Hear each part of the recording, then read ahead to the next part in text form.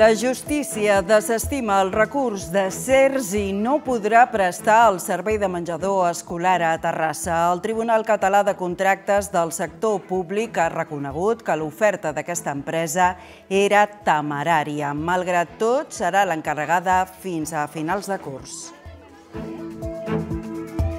Bona nit. El Terrassa suma la segona derrota consecutiva perdent el camp del Formentera per 2 a 0. El director esportiu, Miquel Ezequiel, és acusat en l'acte arbitral de greus insults a l'assistent. D'altra banda, una mala segona part condemna el Sant Cristòbal davant el Sant Andreu i cau derrotat a casa 1 a 2. La quinzena edició del cicle Sons del Temps arriba amb mig any de retard i fora del seu calendari habitual als mesos d'estiu.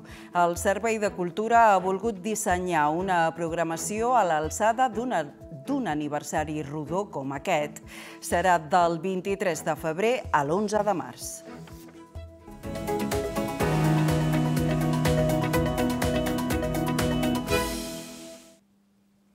El Tribunal Català de Contractes del Sector Públic ha desestimat el recurs de CERS i no podrà prestar el servei de menjador escolar a Terrassa en un futur. La justícia diu que l'oferta d'aquesta empresa era temerària. La justícia dona la raó a l'Ajuntament de Terrassa en el cas de l'empresa de menjadors escolars CERS. Reconeix que la seva oferta era temerària i, per tant, queda descartada del servei a la ciutat en el futur, tot i que l'haurà de prestar fins a final de curs. CERS, anterior concessionària, va presentar un recurs davant del Tribunal Català de Contractes del Sector Públic contra l'acord de la Junta de Govern local en què es va decidir adjudicar el contracte a la Fundació Catalana de l'Esplai. Els serveis jurídics municipals estudiaran ara què passa amb la tercera empresa en discòrdia, Mediterrània de Catering, que també va presentar recurs i que la justícia ha acceptat. Així s'ha donat a conèixer en la Comissió Informativa de Cicles de la Vida. A més, en la reunió s'ha anunciat que l'Ajuntament rebrà suport tècnic de la Diputació de Barcelona en un projecte de sis mesos per mesurar la inversió del pressupost municipal en infància i adolescència. L'objectiu és adquirir els coneixements per assumir aquesta anàlisi els propers anys, veure l'evolució i poder prendre mesures. Es tracta d'una prova pilot que va començar l'any passat amb dos ajuntaments i que segueix aquest amb dos més.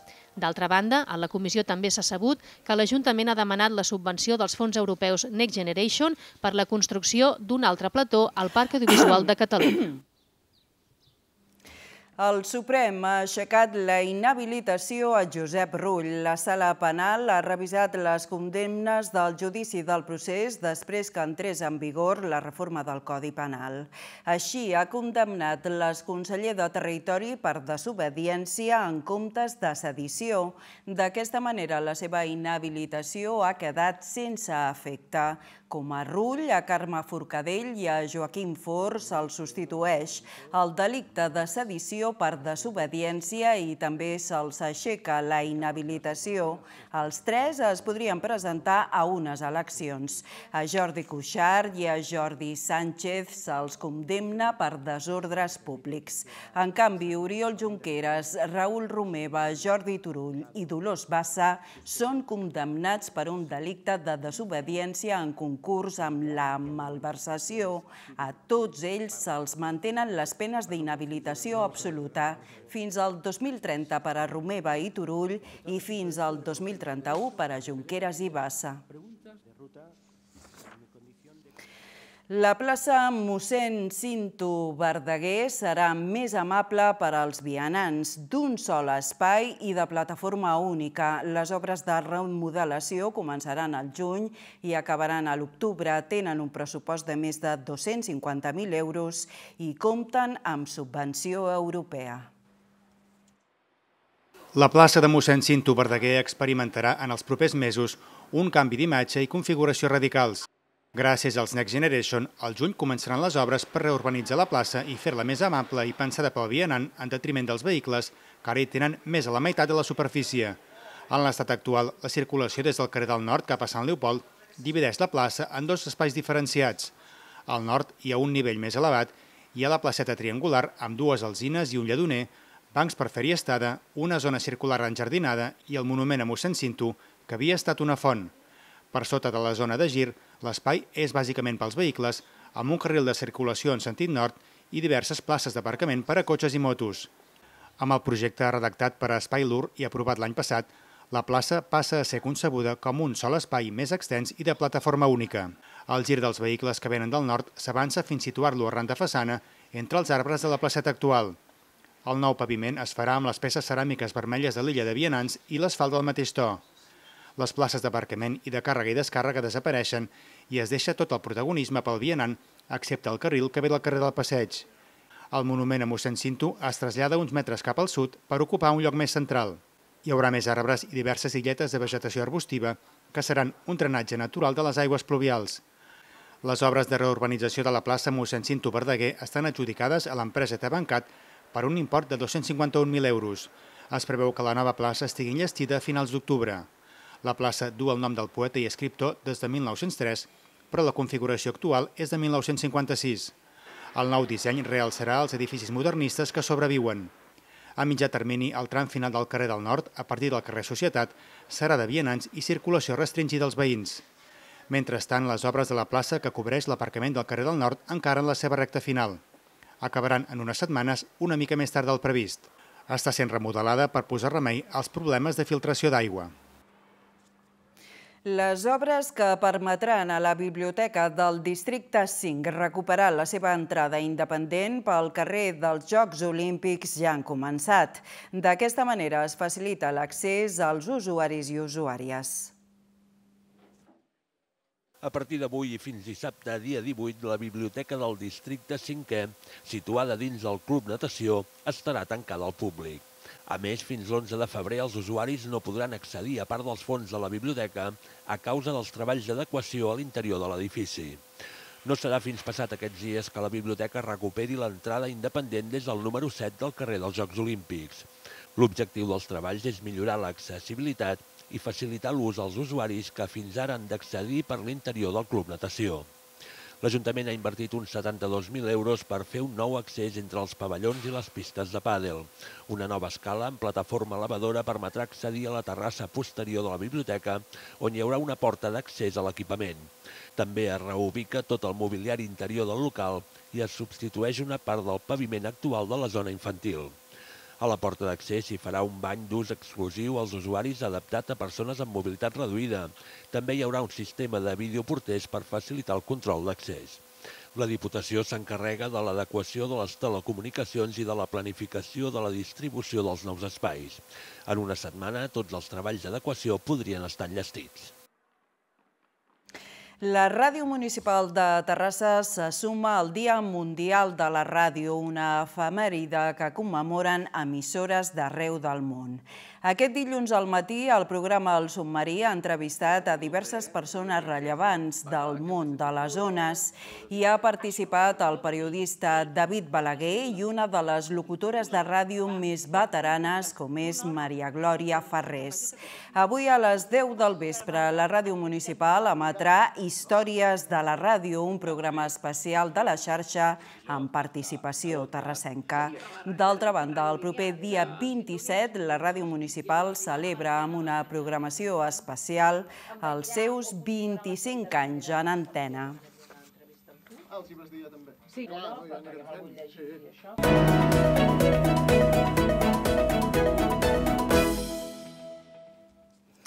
Segona derrota consecutiva del Terrassa, en aquest cas contra el Formentera per 2 a 0. El partit serà recordat, però, pels suposats insults del director esportiu Miquel Ezequiel. El club ha emès un comunicat on diu que les paraules transcrites no s'ajusten a la realitat. El Terrassa Futbol Club ha sumat la segona derrota consecutiva. Ha estat davant el Formentera per 2 a 0, amb dos gols de penal en la segona meitat. Els de Jordi López baixen fins a la setena posició, tot i que les places de play-off descens es troben a només dos punts. El tècnic terracista ha alineat Àlex Fernández com a titular al mig del camp, ja que finalment en la convocatòria no ha entrat ni Jordi Cano ni Meixac, que no s'han recuperat a temps. Tot i viatjar amb un equip de circumstàncies, l'inici ha estat esperançador. El Terrassa ha portat més perill durant els primers 45 minuts, amb dues accions seguides de Sergi Serrano. A la segona, David Jiménez no ha aprofitat el refús del porter balear i ha xutat massa alt. Després del setge visitant, el Formentera ha proposat una mica més en atac, però no ha rematat entre els tres pals de la porteria defensada per Marcos Pérez. El partit ha canviat a partir del minut 55 en una mala acció defensiva del Terrassa. El Formentera ha penjat la pilota des de la línia de banda i David Jiménez ha comès penal sobre Diego Díaz. Julen Equiza s'ha encarregat de transformar la pena màxima i en la següent acció d'atac dels Balears, l'àrbitre ha assenyalat penal per mans de Víctor Morales dins l'àrea. Aquest cop ha estat Diego Díaz qui ha batut Marcos Pérez. Jordi López no ha quedat content del joc de l'equip i creu que la falta d'efectius els ha penalitzat. Crec que la primera part ha sigut eh, força bona. Hem controlat els aspectes del joc, eh, ells no, no ens han fet res, hem, hem, hem tingut inclús alguna... Eh, hem tingut aproximacions, hem tingut alguna ocasió. Eh, bé, al final la segona part ens ha faltat aquest punt d'intensitat, aquest punt de, de dominar eh, sobretot les àrees i en una jugada aïllada com és el, un saque de banda doncs no, no podem permetre eh, que ens facin aquest gol. A partir del 1-0, bé, ens ha faltat energia ens ha faltat energia i, i evidentment doncs, no teníem possibilitat de, de modificar eh, res. A la derrota s'ha d'afegir l'expulsió de Lucas Vinya amb vermella directa i els greus insults que, segons ha recollit l'àrbitre en l'acte, ha fet el director esportiu del Terrassa, Miquel Ezequiel, a un dels assistents. La Guàrdia Civil el va identificar i ara s'ha de veure quina serà la sanció corresponent. Derrota també del Sant Cristòbal a Can Anglada davant el Sant Andreu per 1 a 2. Els parroquials es van avançar amb un gol de Mario Cantí, però els barcelonins van capgirar el marcador. Els de Dani Andreu, però, es mantenen tercers. El Sant Cristòbal ha perdut per 1 a 2 davant del Sant Andreu en un partit molt exigent i disputat entre el tercer i el segon classificat de la tercera federació. Hi ha hagut una part per cada equip al municipal de Can Anglada. La primera ha estat per als parroquials molt agressius en la pressió alta i contundents en defensa. Els quadribarrats amb prou feines han inquietat la porteria d'Àlvaro. Les millors oportunitats han estat per l'equip que dirigeix Dani Andreu. El gol del Sant Cristóbal ha arribat però en un despropòsit de la defensa visitant. Primer, un rebuig defectuós i després una sortida en fals al seu porter ho ha aprofitat Mario Cantí per fer l'1 a 0. Poc després, Ricky Calamardo ha estat a punt de fer el segon, però Jaime González ha atrapat el xut en dos temps. A la segona part s'ha girat la truita. El Sant Andreu ha fet un pas endavant i el Sant Cristòbal s'ha anat aculant a la seva àrea. En una jugada de pilota aturada ha arribat l'empat al minut 10 de la represa. Ara eren els parroquials qui tenien dificultats per amenaçar la porteria rival. La igualtat s'ha mantingut fins al minut 78 quan Martín Alonso s'inventa l'1-2 en una jugada extraordinària. Als últims minuts, el Sant Cristòbal ha buscat l'empat amb més cor que cap i sense resultat. El tècnic parroquial s'ha mostrat molt contrariat per la segona part que ha fet el seu equip. Incomprensiblement eh, hem deixat l'essència de l'equip, del que ens ha donat tenir el que tenim, i ens hem convertit en un equip mediocre, molt mediocre. I la veritat és que la segona part a mi jo em marxo cap a casa molt emprenyat, perquè no és la imatge que a mi m'agrada que, que doni el meu equip. Jo la sensació que tinc és que hem regalat el partit. Ha sigut un partit disputat, dels que agrada jugar a tothom, i com tu bé dius ha sigut una part nostra i la segona part, òbviament, Sant Andreu ha hagut de fer canvis per intentar remuntar i això doncs, bueno, sempre destrontolla una mica tot el tema i bueno, hem intentat fer el possible per guanyar el partit, no ha sigut així. El Sant Cristóbal es manté en la tercera posició de la taula tot i sumar 4 dels últims 15 punts disputats. El Club Natació Terrassa ha posat punt final a la seva aventura a l'Eurocup femenina de waterpolo. El quadre de Xavi Pérez ha perdut per 14-9 contra el Ferenbaros en el partit de tornada de quarts de final i no ha pogut fer valer els dos punts de renda de l'anada. El partit ha començat amb dues dianes de Paula Camus i Pili Penya, però un parcial de 5 a 0 de les hongareses ha capgirat el partit. El descans s'ha arribat amb 7 a 4, és a dir, a només un gol de la classificació, però a la represa les locals han decantat definitivament l'eliminatòria al seu favor.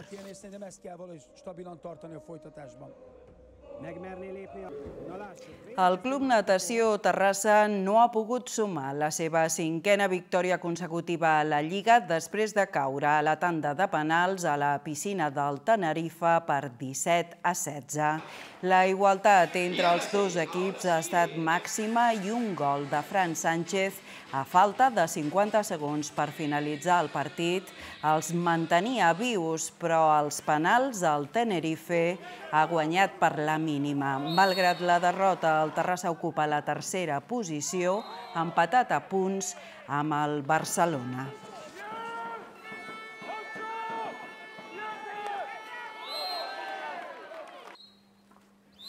El Club Agara s'ha emportat la Supercopa Múnich d'hoquei i herba en derrotar per 3 gols a 2 al júnior. El títol femení, en canvi, ha estat per a les jugadores de Sant Cugat.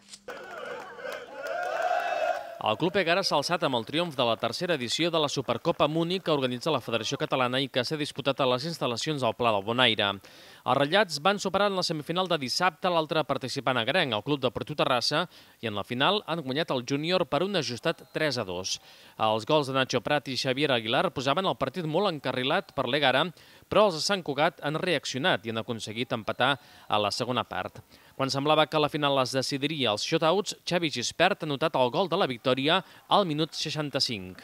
Sí, sí, contents perquè al final ja portàvem, bueno, no sé, és la tercera edició que es fa i, i la veritat és que sempre ens havíem quedat a semis, mai havíem arribat ni a la final. Eh, ahir es va fer molt bon partit per poder jugar a la final i, i avui, bàsicament, el que s'ha fet és guanyar-la. Perquè hem, hem, estem contents, evidentment, per guanyar-la. De fet, les finals estan per això, eh, estan per guanyar-les i, i, penso que l'equip ha sortit molt bé, hem, hem aconseguit el 2-0 pues, pues, rap, ràpidament. I a partir d'aquí és cert que hem fet, hem fet un baixón, s'ha mirat el per què, però després no, no hem seguit jugant amb la, el dinamisme que volíem i hem, bàsicament s'ha sigut pràctic dins del dia que teníem pues, una mica més trebat, s'ha sapigut doncs, doncs, doncs, doncs patir quan s'havia de patir i, bueno, i definir doncs, els moments que les ocasions que hem tingut, vull dir, en aquest sentit contents. En categoria femenina, ni Club Deportiu Terrassa ni Club Egara van superar les semifinals. A la final s'han enfrontat el Polo i el Júnior. Les sancugatenques han estat molt superiors a les barcelonines i han golejat per un contundent 1 a 5. No es pot estar més content i més satisfet doncs, de, de, el que dius, no? d'aquesta festa del hockey que realment ha sigut això.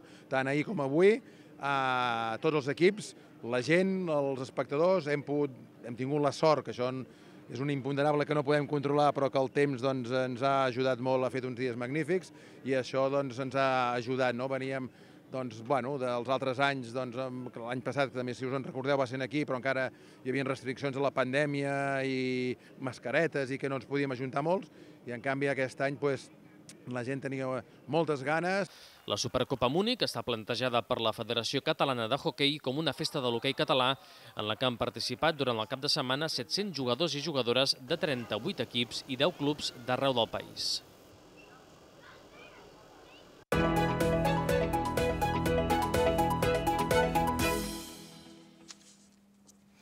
L'escultora terrassenca Gertrudis Galí i el pintor i gravador Manuel Biusà van compartir tres passions, la família, la política i la creació artística.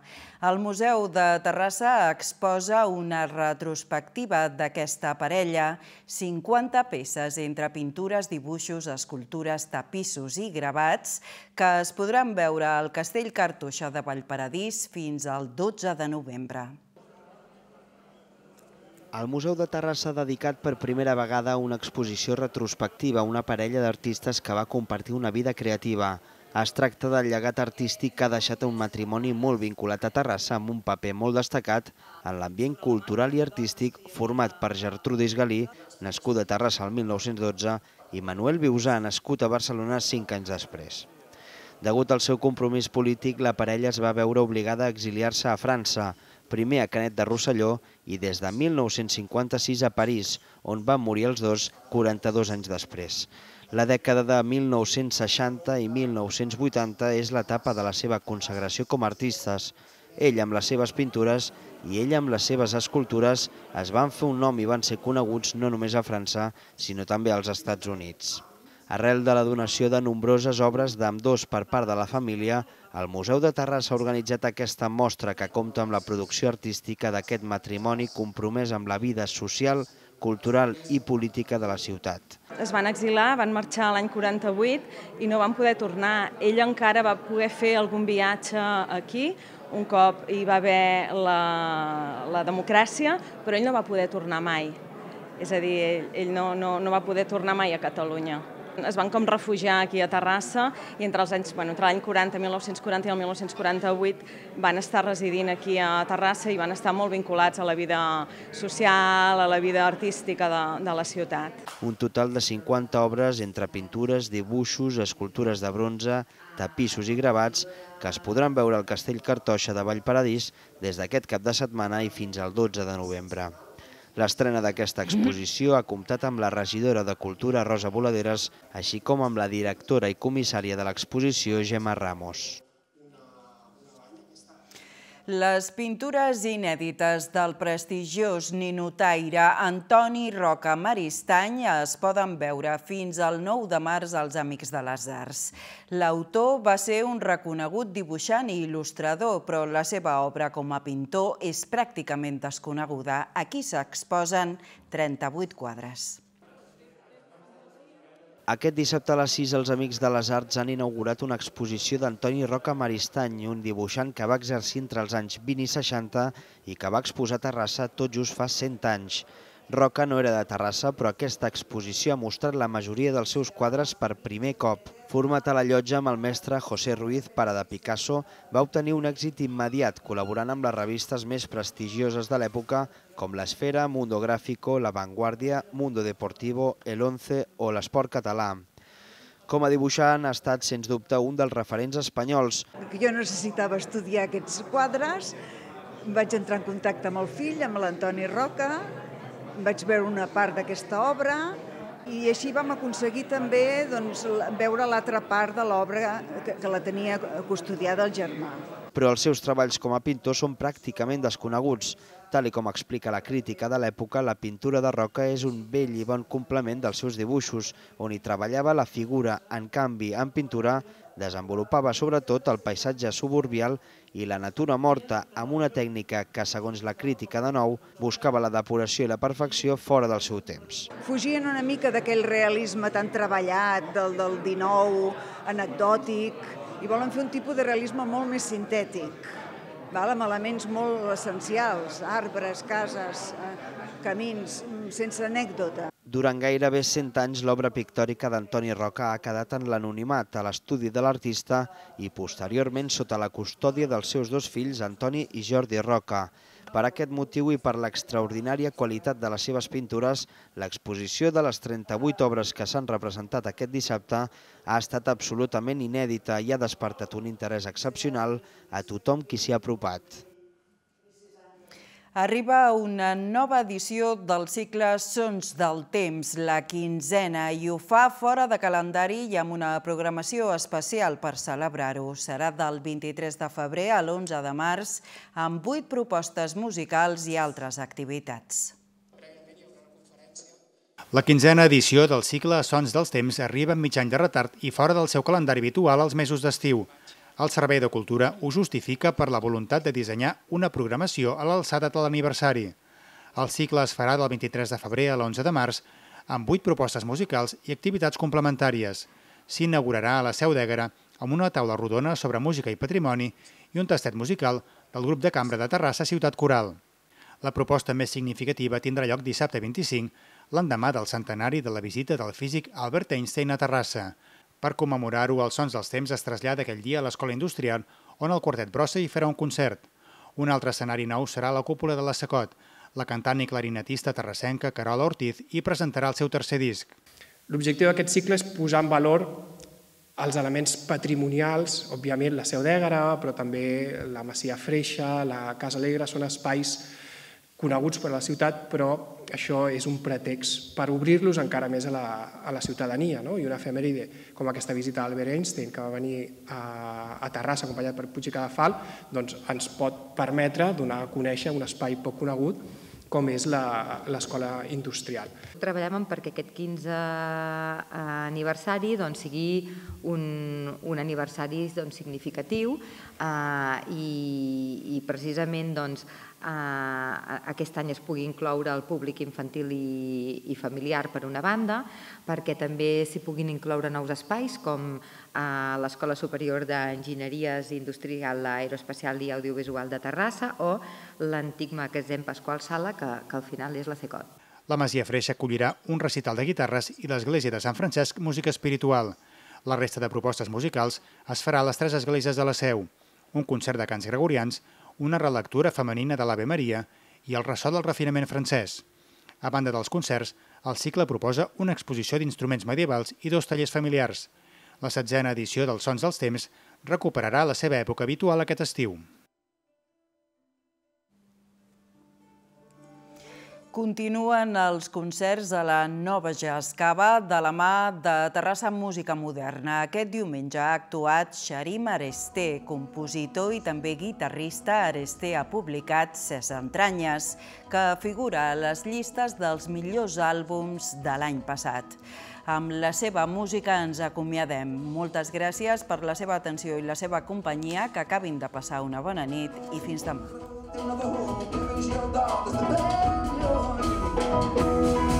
Sweet love,